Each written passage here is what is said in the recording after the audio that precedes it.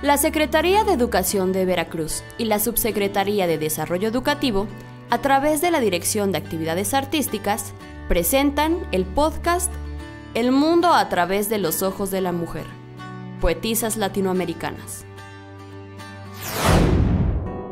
Panes. La dicha del pan es multiplicarse. En un idioma lejano los hombres son panes.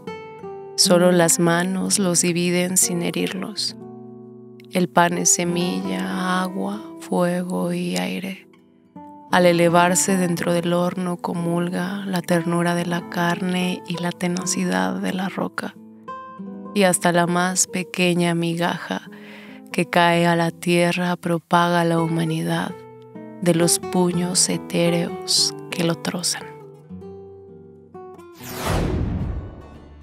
El poema que acabamos de escuchar se titula Panes, interpretado por su autora Patricia Arredondo. Ella es poeta y escritora de literatura infantil.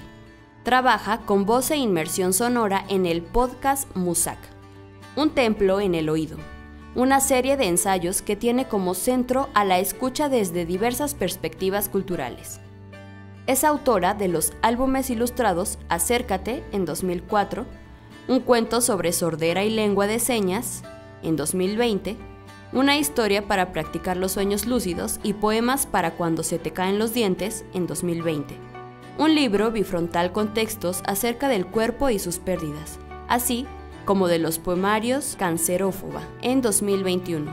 Es una compilación que aborda la enfermedad como un acercamiento a la sombra y la historia del cuchillo, lanzado en formato álbum de plataformas de audio.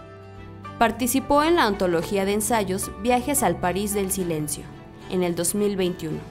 Actualmente da talleres de creación literaria, hace locución comercial, dibuja monstruos bajo el seudónimo virtual Le Cocodrila y crea arte floral a nombre de La Eterna. A continuación escucharemos Cometas. Cometas. Blancas como un hueso, las nubes jineteaban los techos de barro de las montañas. Desde la frontera los hilos tiraban de los niños y sus siluetas ascendían hacia el sol de polvo. Era el final de los días de sufrimiento. Huérfanos, desposeídos, con los ojos limpios cual huevos o ciegos, volvían al sueño de lo conocido.